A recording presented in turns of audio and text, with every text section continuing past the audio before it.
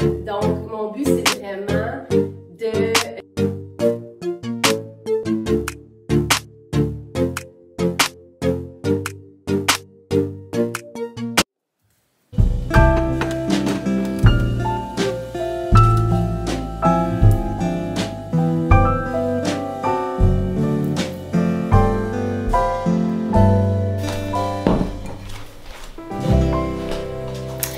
Bon jeudi, alors euh, bienvenue à cette euh, deuxième vidéo où je pense qu'aujourd'hui j'ai le goût de parler souliers, passion souliers, ok?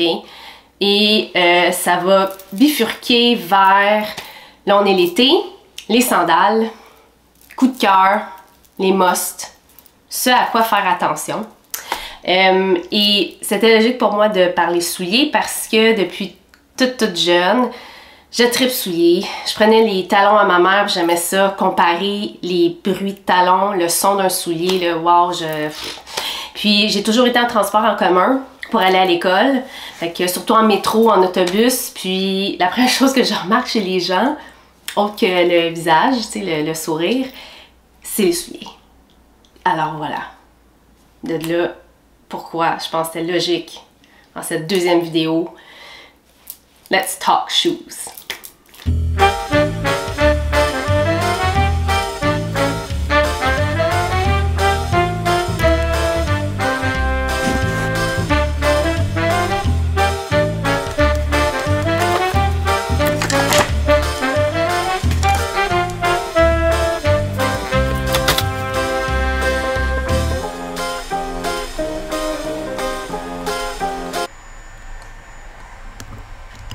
Avez vu les souliers un peu partout dans la maison. Euh, donc, euh, passion souliers, hein, absolument. Et euh, mais là, c'est dans le fond, ce que je voulais, c'est parler sandales, étant donné que c'est l'été, il fait beau. Euh, je, vais vous je vais vous montrer mes musts, mes préférés. Euh, ok, fait que si on y va, mettons, sandales, ok, on y va avec le flat, le talon, il y a aussi présentement toutes sortes de modèles chunky que je trouve tellement hot. Si tu y penses que t'es pas sûr, moi je te dis go, go the chunky sandal. Euh, mais là, mettons mon go-to, actually je pense que c'est celle que je porte pas mal tout l'été. Celle-là, ça va faire déjà un bon trois ans que j'ai. Mais euh, à Birkenstock, Madrid. Va faire un bon trois ans. Je trouve qu'elle fit, elle est juste tellement passe-partout parce que elle a le petit côté plus chic d'une Birkenstock. Euh, j'ai celle aussi en croisée qui est super pratique quand tu marches beaucoup. Justement, en voyage, de bonne chance que je la porte, mais je veux dire, elle, par exemple, c'est vraiment la plus passe-partout. Puis cette année, je me suis pris le modèle blanc avec la buckle argent, fait que ça fait quelque chose de différent, mais c'est à quel point pour dire que je l'aime d'amour ce modèle-là, ok? Si vous n'avez pas de Birkenstock, I highly recommend. Et dernièrement, avec des clientes, on a acheté leur première paire. Puis ce qui est le fun, c'est que justement, il y a différents modèles, ça dépend aussi comment ton pied est fait et tout. Euh, des ça peut être justement là, euh, pied étroit, euh, des oignons des fois aussi, euh, pied large. Alors, euh, c'est selon moi quand même un must. Euh, autre sandale qu'on voit beaucoup, depuis euh, les dernières années, mais je veux dire présentement, elle est, très présente, là, elle est présentement présente, elle voit. C'est la sandale strap qu'on avait quand on était jeune. Bon, celle-là vient du Zara. En passant, moi je prends beaucoup mes sandales, mes souliers au Zara, ok, en passant là. Ça, pour mon pied, en tout cas là, toujours super confortable. Qualité-prix est juste incroyable. Bref, mais oui, tu sais, la sandale, justement, là, elle strap comme ça. Très fun, parce que justement, elle sport. Mais, euh, je sais pas, ça, ça fit euh, pas mal avec tout aussi. Puis, mes récentes aussi, ben fun. Le petit talon comme ça, coloré. Que j'ai pris à l'intérieur. Je vous, je vous ai montré juste quelques modèles que je trouve qui peuvent être juste passe-partout. Dans le fond, c'est un exemple de chaque, tu sais, ta, ta sandale talon, ta flat, ta plus sport. Euh, mais ce qui m'amène à... Alors là, c'est l'été, on est beaucoup justement pieds nus, sandales, orteils à découvert.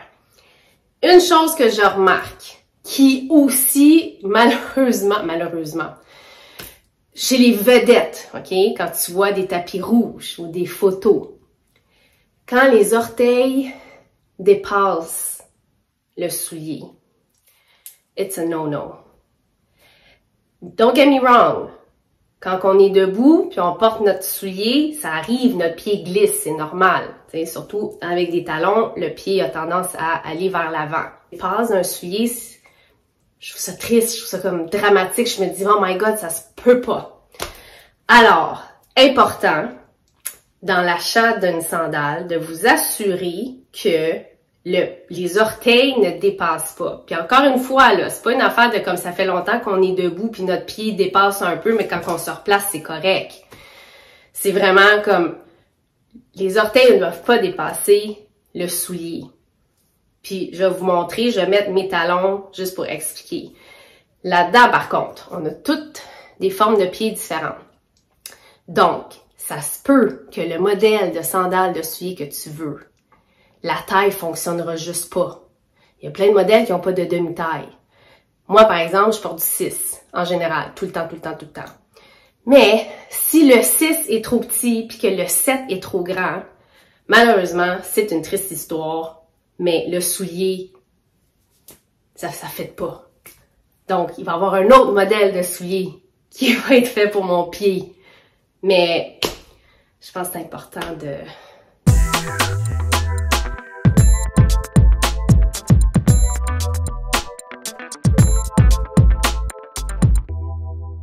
terminer la vidéo de cette manière. Alors, euh, si on récapitule, c'est juste de s'assurer que vous preniez la bonne taille de sandales. Et euh, au petit truc aussi, ça peut être des fois de juste acheter les petits coussins antidérapants pour empêcher nos pieds de glisser. Et euh, avoir une belle petite pédicure. Alors, euh, c'était ça. Et puis aujourd'hui, ben je m'en vais préparer des cabines pour une séance magasinage. Alors, sinon, ben, merci d'avoir écouté. À la prochaine.